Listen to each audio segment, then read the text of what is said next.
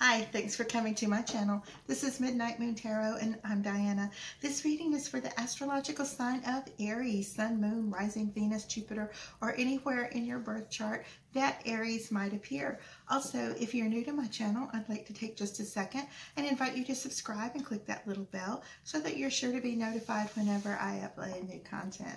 And in the description box below, you'll find links to my social media, my Patreon, my PayPal, and links to some really cool things on Amazon I think you guys will like. Okay, so this reading is for the month of February 2020, keeping in mind that all tarot readings are timeless. So whenever you might come upon this reading, whether it's right after I upload, a week, month, or even a year from now, if you feel drawn to watch it, then most likely you'll find a message for you within the reading. Okay, and also if you feel like the reading doesn't quite resonate with you, that's why at the beginning I was saying Sun, Moon, Rising Venus, Jupiter. It's good to know your other planetary placements so you can watch those signs as well to get additional messages. Okay, so we are going to go ahead and calibrate these cards to the astrological sign of Aries and ask our angels, guides, and ancestors for any messages for Aries? Spirit, what messages do you have for Aries for mid-month, February 2020? Spirit, what messages do you have for Aries for mid-month, February 2020?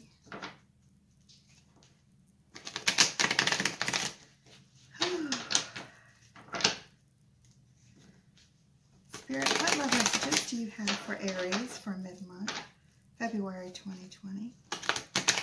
Okay, I'm going to shuffle one more time. Then we'll go ahead and divide these up. Okay. I'm going to divide this into three stacks. Okay. All right, the card on the bottom of the deck is the King of Pentacles. Okay, so this card is going to be the overall energy for this read. And As we go through this reading, I will show you how this card's going to relate to the different cards that come up in this reading. Okay, so initially, the King of Pentacles uh, refers to um, like a divine masculine energy, one that is more grounded, focused on security and loyalty and um, you know just being an, an excellent provider uh, someone that has your best interests at heart. And you know it can be like a fatherly type figure even if it is a lover. This is someone who is like uh, super protective uh, in a fatherly type way even if they are uh, your partner. Okay. So I'm going to go ahead and lay these cards out. Now, for those of you who are new here, I lay out four rows. The first row talks about you, uh, what you've been going through, what's going on, uh, things that are about to come to you. Now, in the second row, um, is the same thing, only it's for your partner, your beloved, uh, your twin flame, soulmate, a counter, um, a karmic partner, uh, yeah, somebody who's counterintuitive, I guess. Um, this could be an ex that you still feel really drawn to, um, somebody that maybe you just met, but whoever is the first person you think of in the morning when you wake up and the last person you're thinking of when you go to bed at night. Now the third column talks about obstacles, challenges, um, things of that sort, uh, fears, anxieties, uh, things that are keeping us just stuck sometimes. And the fourth column is our outcome. Now I've just laid out eight cards, two in each row. Um, I'm going to do this two more times for a total of 24 cards. By the time we get to the end of 24 cards, we generally have like a good little storyline here going on for you. Okay, now in the first column, which represents you, we have the Ace of Swords as well as the Ace of Cups. Wow, okay. So this shows me that no matter what you are no matter what you take on, whether it's a new job, a move, uh, a romantic partner, uh, you're going to have a lot of success with this. This is going to be something that is allowing you to grow, to prosper, and it's going to, you know, they say when you, um,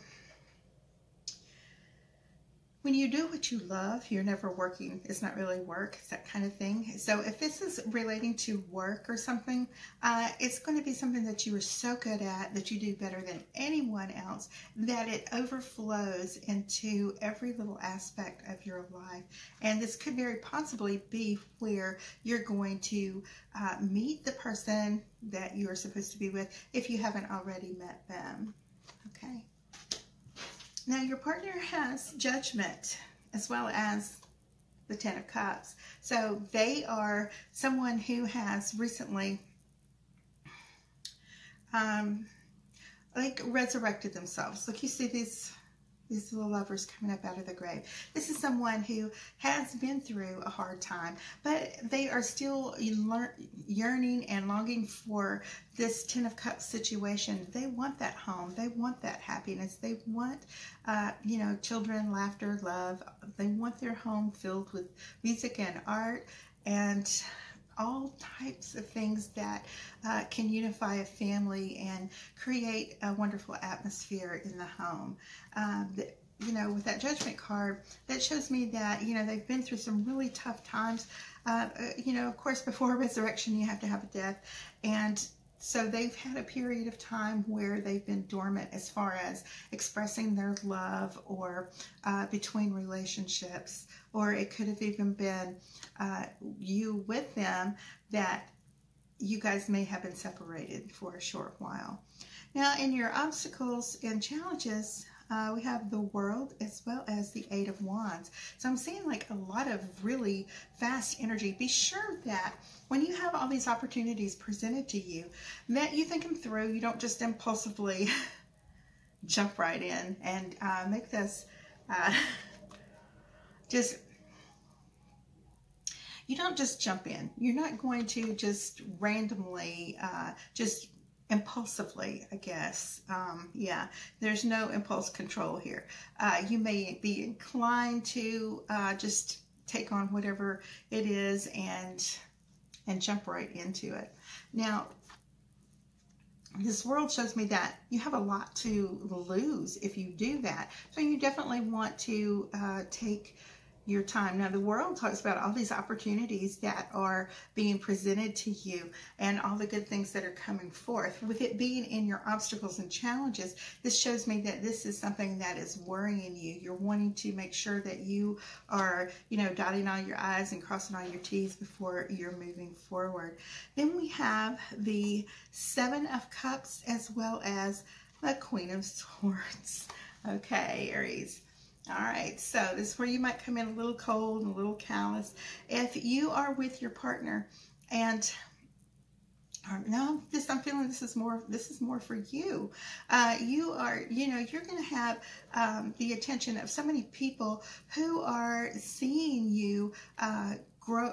You know as you have grown into yourself. Um, begin to uh, attract attention of so many different suitors. You kind of have your mind on this one person, and you know you're quick to um, you're quick to you know let it be known that you have no interest in any of these opportunities, um, any of these suitors that are being presented to you. However, you know, beautiful or handsome they might be, your heart is in one place and, you know, nobody's really going to be able to change your mind as far as that goes. Now, hold on. I picked up the wrong tarot deck. Okay. Maybe there's something for me there. Okay. All right. So in the column representing you, I've got Four of Cups as well as Justice in your partners. We got temperance as well as the wheel of fortune. Wow, guys. Okay. Wow, even more. Okay. In your obstacles and challenges, of course, we have strength as well as five of swords. And the outcome, I, an extra card had fallen out.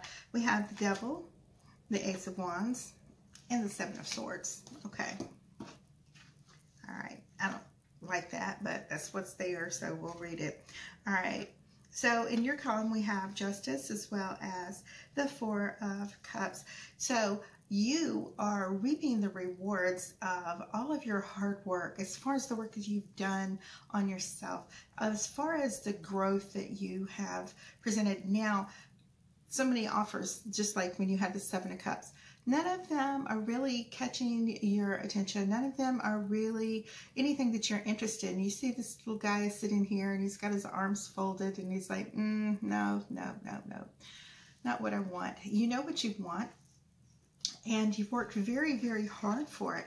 You've uh, you've struggled. You've fought your way to the top to get to this point in your life where you are uh, in this position where you can be choosy, where you can take your time and know uh, which path it is you want to take. And your partner, we have temperance as well as Wheel of Fortune, both major arcana. And, you know, when we have the Wheel of Fortune, you know, everything is changing really fast. Uh, you know, luck is going, luck, luck is, have you've been having bad luck? Course, it's going to change. If you've been having good luck, it's going to change. But it doesn't matter, even if you've been having good luck and you're changing to bad, because good luck's going to come back around again.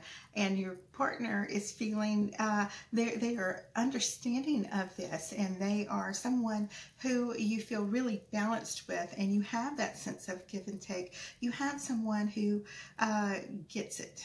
You have someone who uh, really understands uh, you see that this, this angel is holding these two cups here, and it's a reminiscent of the Two of Cups, which talks about uh, a divine union and uh, someone who you can really connect to and relate with, someone that you, you know, you can have a lot of growth and forward movement in your life coming up.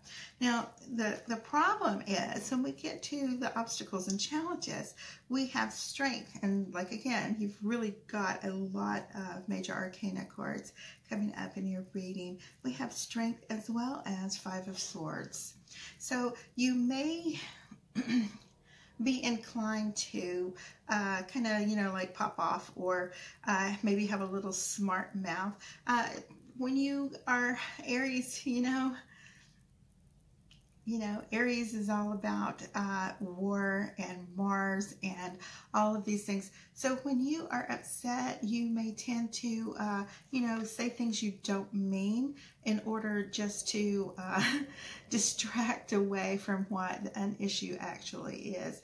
And you're going to have to, you know, call on this strength that you have. You know, there's a there's times that you get really, really um, have to take that bull by the horns or the this lion by the jaws or whatever it is she's doing here.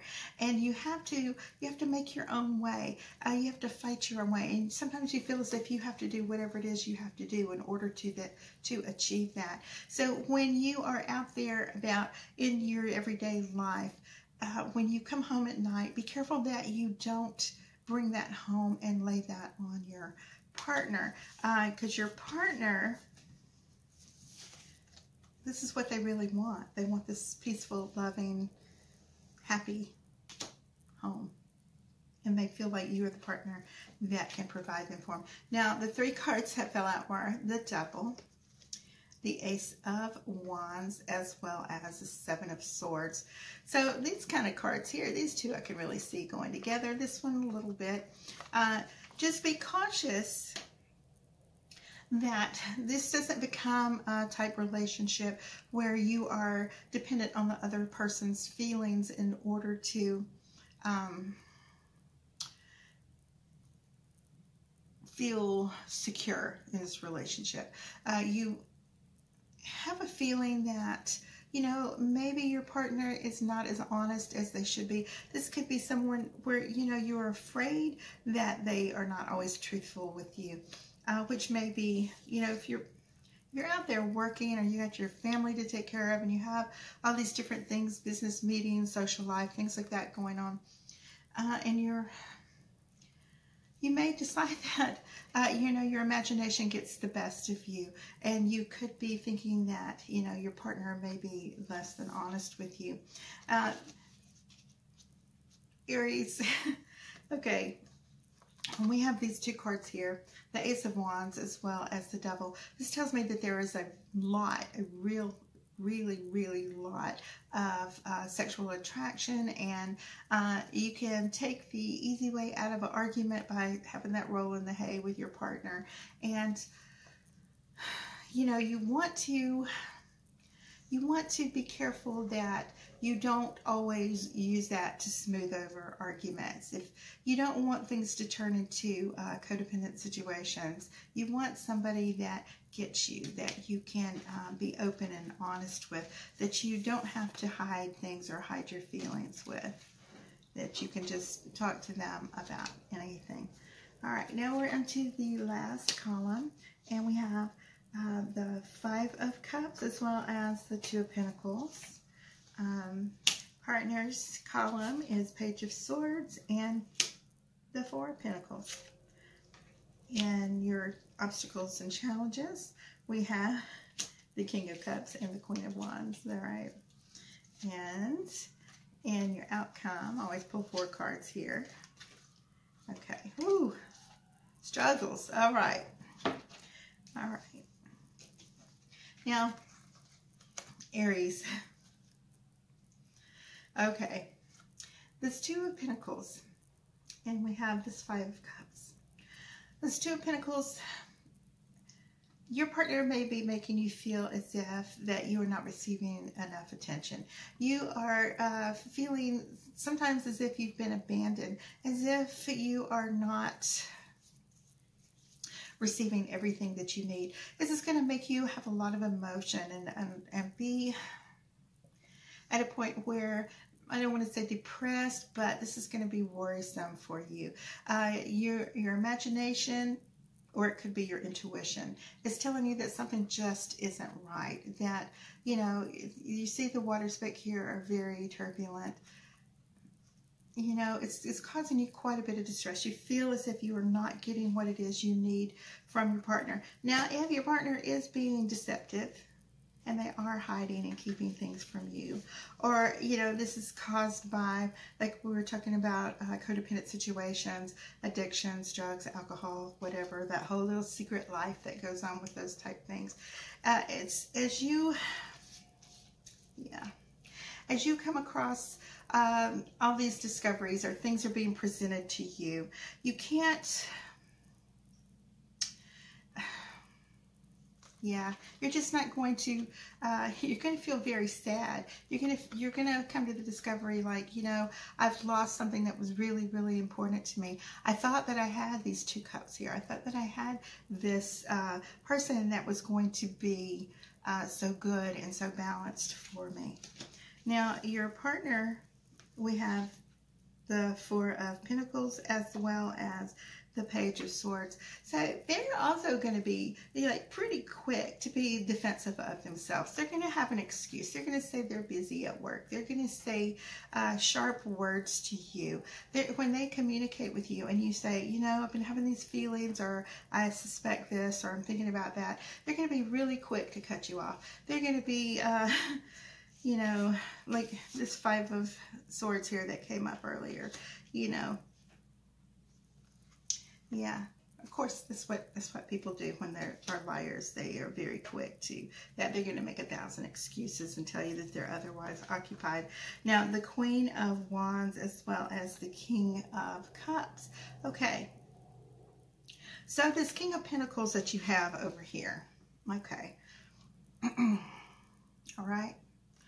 That is the key. That is probably the person, if you know an earth sign, Aries, I'm sorry, uh, if, yeah, if you know an earth sign, uh, Taurus, Virgo, Capricorn, Aries, that most likely is the person that you might want to latch on to. This Queen of Wands right here. All right. So this is representing you. And she is like, uh, you know, very lovable, very quick, but she's also very, she's also very strong. Um, has a lot of really hard opinions and things. This King of Cups here, this might not be the best match for you after all. This this Ace of Cups it uh, presented itself at the beginning. Um, yes, we have these spilled cups here. Uh, this water sign, Cancers, Pisces, Scorpio. This person uh, seems to be that they have quite a bit that they are not being honest with you. They're kind of like, they're kind of like fickly and, you know, there's just like a, when I do these readings and this information comes into me, it just, right now I have this like really icky feeling, okay? Uh, maybe this is a person that has some type of attachment. Uh, yeah. Okay. This is not good. All right. So we have the moon, the hanged man, the five of wands, and the ten of swords. Okay, well, of course, the Ten of Swords talks about completion. Uh, you're going to have this confrontation with this person, and you're going to feel like, you know, when you have these discoveries, when you have considered your intuition, and everything done in the dark comes into the light, just like during this eclipse here, after the shadow has moved past the moon and everything is illuminated again, you're going to be able to see all the things that were going on. Uh, trust your intuition. Okay, that'll be the title of this one. Uh, so, yeah, if, if something doesn't feel right, then it probably isn't right. You know, sneakiness, manipulation, somebody being a liar, these cards go hand in hand right here. Okay. Uh, if you continue to stay, of course, you will be stuck in that situation here. Oh, they're all upside down. Let me turn them back around. You will be stuck. You don't want to be stuck. You want to be able to move on. You want uh, this this whole little cycle. Uh, you know, it's Valentine's Day. Uh, everybody wants to, uh, you know, find that partner it's so not worth it to uh, jump into a relationship just to have that Valentine's Day. You have this King of Pentacles who is waiting on you, who is um, watching you, who wants this life with you. Uh, just don't be so quick to jump into uh, a situation just in order to have that romantic Valentine's Day. You know, there's a million different things you can do have movie night with your friends. Um, you and your girls or guys could go out together, you know, all kinds of stuff. It's different things you can do for Valentine's Day. You don't have to subject yourself to somebody who is there just to lie to you and manipulate you and hurt you you know, and get you, you know, argue with you, make you feel bad about yourself. When you confront them about what it is you find out, you know, they're going to argue with you. They're going to, they're going to deny it they're, they won't, they won't ever admit that they're wrong. It's just very, manip- this is a very manipulative person. And the best thing you do is see this Ten of Swords as completion, that it's over with, you're done with it. Uh, don't see it as feeling betrayed, okay? Uh, because that intuition that you have is something uh, that we all have within us and it's really it's always really good to listen to that. Okay aries i wish it was better but now at least you're prepared. And that is your reading for mid-month february 2020 all right guys love you. Bye bye